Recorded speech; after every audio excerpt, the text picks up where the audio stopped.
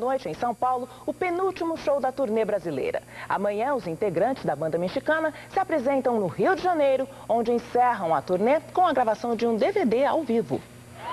Portões do estádio abertos, ninguém segura a emoção. É muita ansiedade.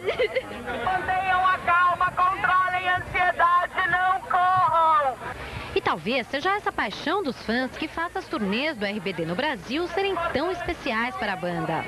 Gracias a Dios hemos tenido la, la suerte y la oportunidad de que la gente nos ha recibido muy bien, muy, muy bien en todos los lugares donde hemos ido. Pero de verdad que Brasil para nosotros es, es parte de nuestro corazón, lo tenemos aquí. quê? Los queremos mucho porque son gente muy entregada, muy lindos. Além dos ingressos, a plateia também traz presentes.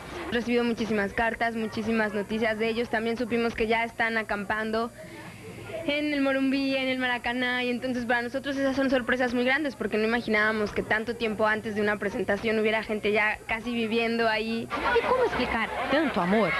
Eu amo eles demais!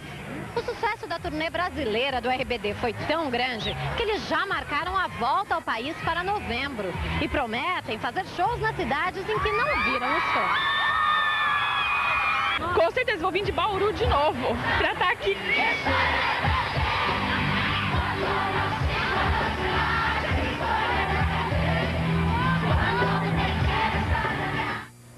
O SBT Brasil